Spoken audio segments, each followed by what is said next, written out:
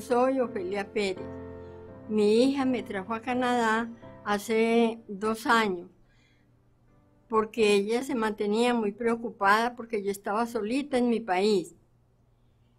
Ella, yo le colaboro a ella viéndole los niños, ayudándole en lo que pueda, porque ella está solita y no tiene a nadie aquí.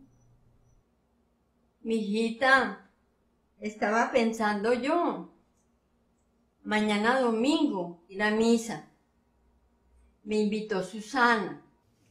No, mamá, usted no puede ir, porque yo mañana tengo un compromiso con unos amigos y no tengo quien me lo lleve.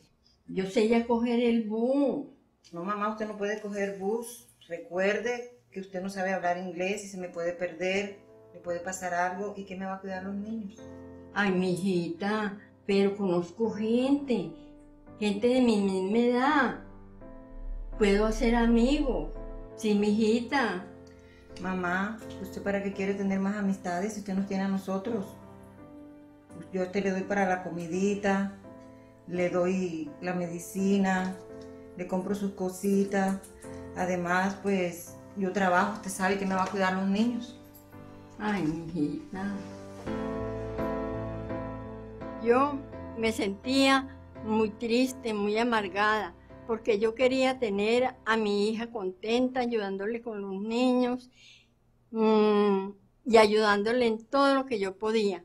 Pero también me sentía muy amargada, porque no podía hacer lo que yo quería. Por eso me decidí.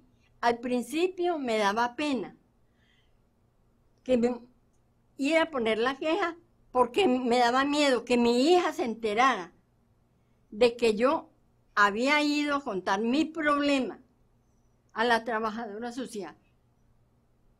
Entonces, ya me siento contenta y tranquila porque puedo hacer lo que yo quería, ir a misa, estar con mis amigas, ir a los moles y estar tranquila. Claro que sí, doña Ofelia. Mire, lo que podemos hacer es, si usted me autoriza, yo incluyo el número de teléfono de su casa en el registro de los miembros de la comunidad del, del centro y yo puedo llamar a su hija y puedo hablar con Ay, ella. no, doña Pilar, porque mi hija se enoja de verte que vengo a, a contarle a usted y me pongo en problemas. No, yo estoy muy contenta porque usted me está ayudando y yo quiero salir e ir a recibir mis clases y todo, pero no quiero tener problemas con mi hija.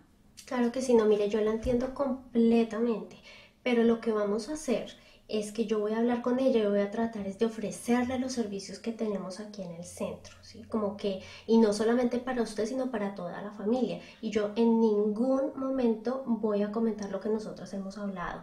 Eso queda entre nosotras dos porque es confidencial.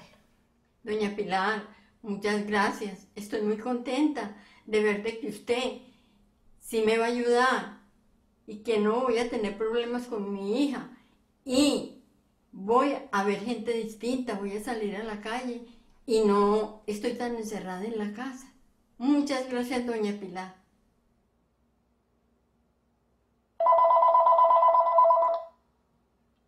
Hello. Yes, hello, my name is Pilar Diaz and I'm actually calling from the community center of the neighborhood. I was just wondering, do you speak Spanish? Sí, hablo español.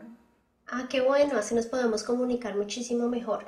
Bueno, mire, quería contarle que nosotros estamos contactando a toda la, la, gente que vive aquí en nuestra comunidad para informarles acerca de los servicios que tenemos disponibles para toda la familia. ¿Será que usted tiene unos minuticos en este momento que me pueda regalar para contarle acerca de esto? Sí, dígame. Bueno, mire, como le decía, el centro de nosotros tiene muchos programas y tiene muchos servicios para toda la familia. Pero primero necesito que me cuente usted con quién vive. Yo vivo con mis dos niños y mi mamá. Ok, entonces mire, para eh, los niños nosotros tenemos programas que vienen después de la escuela y son para ayudarles con las tareas, pero también tiene incluido como eh, una sección de actividades recreativas y deportivas. Bueno, la verdad es que nunca había escuchado de eso. Y además para usted tenemos, por ejemplo, clases de, de, ESL y para su mamá también tenemos clases de ESL para adultos mayores. Además de eso tenemos unas clases eh, o como unas actividades sociales en las que la gente puede eh, hacer actividades o hobbies que les gusten. Y casualmente, ahora que estoy mirando acá los horarios, me estoy dando cuenta que esas actividades se hacen a la misma hora de las actividades de los niños y hay otras que se hacen durante el día o durante la mañana, cuando los niños están en el colegio. Bueno, eh, nunca había escuchado de ese programa y me parece interesante. Le voy a decir a mi mamá. Sí, y mire, sabe que yo le recomendaría que le insista, anímela a ir, porque en realidad eso sería muy bueno, no solo para ella, sino también para toda la familia. El que, el que su mamá se sienta más a gusto aquí en Canadá puede ayudar también a la armonía de la familia, para el bienestar general de todos. Bueno, eh, sí, yo no sabía que habían esas clases de programas, de todas maneras, pues voy a hablar con mi mamá porque ella se ha sentido últimamente como muy triste. Sí, claro que sí. Mire, le cuento, muchas organizaciones han estado haciendo eh, investigaciones acerca de cuáles son las barreras principales para que los adultos mayores se puedan establecer exitosamente a Canadá. Y mire que una de las barreras, obviamente aparte de la falta del idioma, es la falta de socialización. Y una cosa que nosotros tenemos que entender es que los adultos mayores son como cualquier persona, ellos necesitan contacto social para poder sentir que pertenecen a la sociedad, que pertenecen a la comunidad y, pues sentirse felices. Sí, muchísimas gracias. La verdad es que eh, le agradezco mucho por su información. Mm, voy a hablar con mi mamá y, pues sí, para que ella salga y, y conozca gente. Y, todas esas cosas pues, de vida normal que, ella puede llevar aquí en Canadá. Si está pasando por una situación difícil o conoce a alguien que pueda estar en una situación de maltrato, no se desespere, hay ayuda disponible. Para cualquier inquietud acerca del maltrato al adulto mayor o servicios disponibles en su comunidad, por favor contacte a la línea de asistencia para adultos mayores 1866 299 1011. 24 horas al día, 7 días a la semana, servicio en español y otros idiomas. Para hacer un reporte completamente anónimo en contra de alguien que está abusando o maltratando a un adulto mayor, llame a la línea para reportar el crimen en contra del adulto mayor 1800-222-8477. Reporte anónimo y confidencial para reportar problemas dentro de instituciones donde viven adultos mayores, comuníquese con la línea para reportar irregularidades en hogares geriátricos.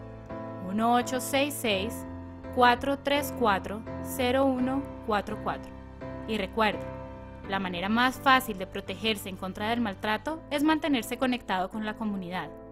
Por ejemplo, manténgase en contacto con su familia y amigos. Establezca un horario regular para llamar y o visitar a sus seres queridos y amigos. Únase a grupos que realicen actividades sociales y recreativas. Participe en programas comunitarios de su gusto e infórmese acerca de otros servicios disponibles.